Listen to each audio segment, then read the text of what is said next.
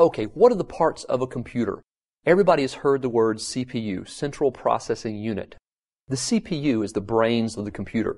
That's where all the real work occurs, or most of the work at least. The CPU is made up of millions of transistors.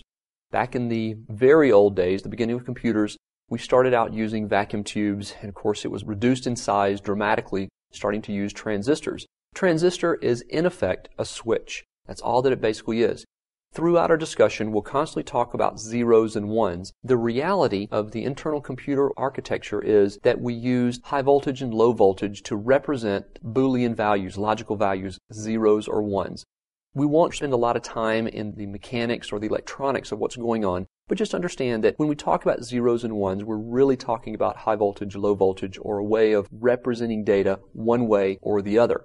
Now, inside the CPU, and the CPU chip itself is a package. You may have looked inside a computer and you see a square chip thinking that's the CPU, but actually, if you pull the layers off, and you have to destroy the chip to do this, you'll find that the CPU is actually very, very tiny. The reason that the chips that we see on a day to day basis are so large that they fit in your hand, they're so large just because we have to have enough wires and connectors to get inside the actual package. So remember that the chip itself is tiny extremely small inside those layers of silicon.